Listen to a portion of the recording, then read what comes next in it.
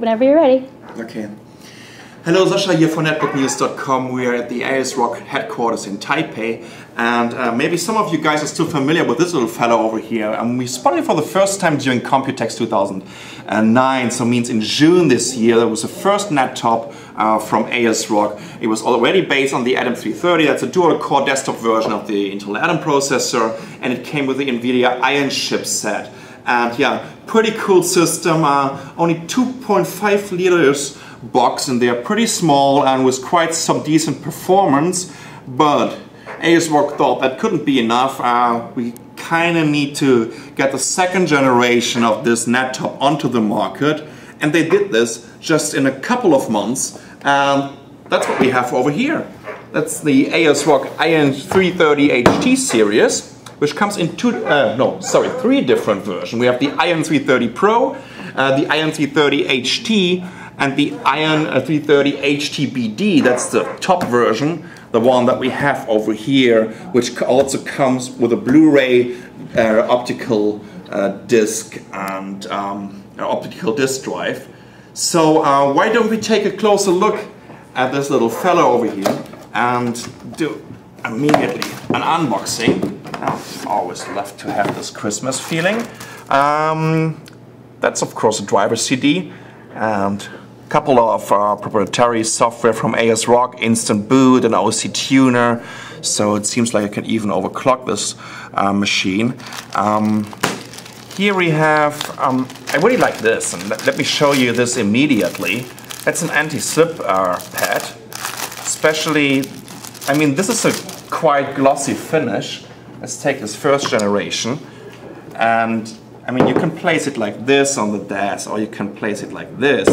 And when you just want to open the optical drive, uh, you would just slip all over the desk. So just place it on the slip anti-slip pad and it's steady, no scratches on this glossy finish and it keeps your it keeps your NetTop steady and yeah new so let's see what else we have in the box uh, we have a little quick manual here a little overview of all the components. Yep, there we go. Uh, accessories and how to connect um, your system to a keyboard, um, to external screens and HDMI devices. And let's see what is in this accessory box. Da -da -da this is a special feature um, of the 330 HTBD and the 330 HT version. It's a Media Center Edition um, remote control and they're using infrared technology for this. So actually you don't even have to get a USB dongle on your NetTop. You're immediately starting it uh, for the first time with your um, remote control. So what I'm going to show you this a little bit later. We have here a PSU this is something uh, pretty much the size of the netbooks wants. Um, a 65 watt external PSU. Okay, so in terms of cables, uh, eSATA cables, so that you can, uh, SATA cables that you can uh, get an additional hard disk in there. This is also something unique about um, uh, the ASRock NetTop because you can add an additional 2.5 inch hard disk into the net top, that means you can even run a RAID system in there. It's RAID 0 or RAID 1. So these are the cables for it. And what else do we have here? That's uh, a little quick manual for the remote control. And here we have an HDMI connector. Oh no, that's HDMI to DVI. Here we go. See? And um, couple of screws. So now let's get finally to the device itself and let me tell you a little bit more about the specifications of it and let me also tell you what kind of price points we can expect from these laptops. Um, here we go. As I told you, this is the top model. Um, that's the Ion 330 HTBD. Um, it's a little bit glossy and shiny, so you can see Nicole filming here. That's my hand, that's Nicole. And the Blu-ray disc, right? and as I told you, um, Intel Atom 330, desktop version of the Intel Atom CPU. Uh, it runs at uh, 1.6 gigahertz, dual core system, and each core also comes with hyperthreading. So I think uh, Windows will even show you like four cores with this system. And um, NVIDIA Ion, um, I think that's the full version of the Ion. It's not the LE version uh, in, in, in, these systems. So you can really, really expect some decent performance. 1080p should uh, run without any stuttering. And uh, let's take a quick look around the system before I'm getting rid of all this. Um, on the back side, you know, this is something that I have to point out. It comes with a 7.1 audio card. So, and it also uh, runs on, uh, supports DTS. So that's also uh, quite some different, uh, uh, quite different to the first generation of it, right? As you can see, we have an SPDIF uh, outlet here. Um, over here, you can get in your um, PSU, microphone headset, um, Ethernet connector, about six USB 2.0 connectors. That's quite a lot. That's great. HDMI, we have the Power 4 eSATA, and we have a VGA out. So that's it pretty much what you can see over here. Let's talk about the technical specification of it. Um, 320 gigabyte 2.5 inch hard disk drive. As I said already, you can get an additional one in there. Blu-ray disc, um, 2 gigabyte of RAM, and um, yeah, Intel Atom 330, NVIDIA Ion chipset. The price point, that's a rather good question. $549 for the top model. I think that's a pretty reasonable price for what, it's, what it offers, especially with the Blu-ray disc uh, optical drive. And when we're talking about the Ion 330 HT version, which comes without the Blu-ray disc but has a Super Multi uh, DVD uh, drive in there, that goes for $449. And the entry-level version, um, that is one uh, without Wi-Fi, because these guys are also supporting Wi-Fi, so it's ABG and N standard. Um, the entry-level version goes for 399 US dollars and should be available at your favorite reseller and retailer pretty soon. So yeah, really, really cool device. I can't wait, you know, to open this little fella and take a closer look in there. And I guess that's what we're going to do right now.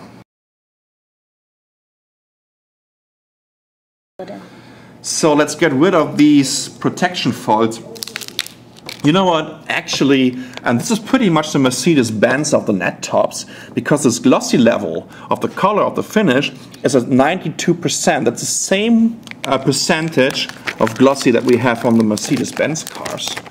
So that's a kind of fancy feature. Let's get rid of all this. Oh, you know what? We don't have to get rid of these side ports. Um, just getting a little screwdriver and let's see what's in there. And let's take a look uh, about heat sinks and fans and to see how ASRock is cooling this down. And of course, you, could, you would also get an impression if you want to add an additional hard drive to it, how it will look like. Okay, there you can, there you can see um, the optical drive. So let's see if we can just easily get it out of the drive bay over here. That's number one. You see, it's, it's, it's pretty small. Everything is very, very small. I remember this from my time work for EPIAcenter.com where I was only covering mini ITX form factor and always had to deal with these cases. So that was always a hard time to get everything in there. But uh, my first impression is this is, they really, really sorted this out in a, in a good way. And there you can see. It's very, very simple. Just two screws and I'm getting rid of um, the Blu-ray disc. Oh, this looks to me, okay, wait, here we go. Number one, number two, there you go. There you can see that you can just add an additional uh, 2.5 inch. Here. Right? Here. Four screw holes here. Okay. The second, second drive here. Right, so you can just get it underneath it, right, and then you will have a RAID system in there. So very, very easy to, to uh, unscrew all this and to get really to the core of the system. So um, it's dual channel RAM. So it's, it's a two, giga, uh, two gigabyte um, memory uh, banks and uh, slots. Of course, I think you can upgrade it to four gigabytes, right? So you can definitely get some more RAM in there. And um, over here, this should be there should be the CPU. Um, got an additional fan over here, very very small one. Um, it looks to me like I would say like 40 millimeter fan, something like that. Why this is uh, a little bit bigger, right? It's, 30, uh, 30 and this is 50 min, fan. That's 50 millimeter, Yeah. and that's thir 13 millimeter. So this is 13 millimeter, and that's 50 millimeter. Can't tell you anything about uh, uh, how loud it is right now, but we, we're going to see it uh, as soon as we have our review unit and doing some additional testings on it. So, and this is um, just a huge heat sink. I think this should be for the Ion chip set, right? And um, so um, this one over here in the back is just getting the hot air outside of this very very small box. So And this yeah, is the, uh, the system ac- acoustic is only uh, is below 26 dB. okay. So 20 below 26 dB. Yeah, exactly. So uh, you won't you won't really hear this one at all. Yeah. Um, the mainboard they use. Well, pretty much reminded me of a mini ITX form factor mainboard. Now it's it's uh, uh, it seems to me like seven, seven inch uh, uh, on each side. It's a little bit like this, right?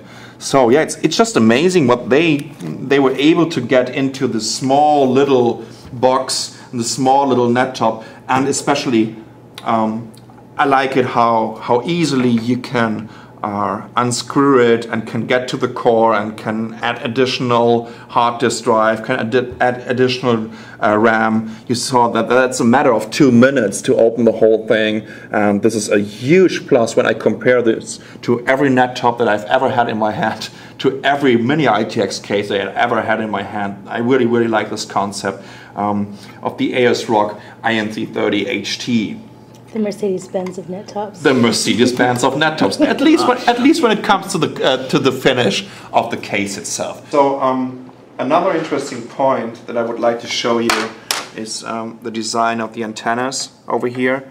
These are the Wi-Fi antennas, right? And over here on this side we have the in- infrared uh, receiver. Now, just to let you know, this is a DNA compatible device. That means actually you can even use it with Windows 7 as an access point or as a hotspot. You can connect to the internet with your other devices over this little net top. So I think that's a huge plus. So you can, you, you can actually you can save your Wi-Fi router at home by just getting uh, the ASRock IN330 HT. And I think that's a huge plus com- comparing this uh, to all the other net tops that are available on the market. But remember, it's only possible with Windows 7.